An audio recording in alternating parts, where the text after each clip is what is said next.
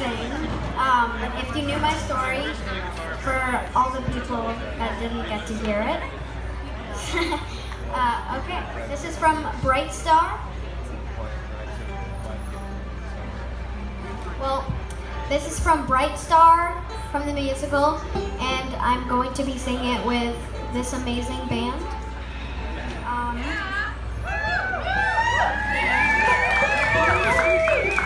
We say, tell you how much we love her, and she says things like that.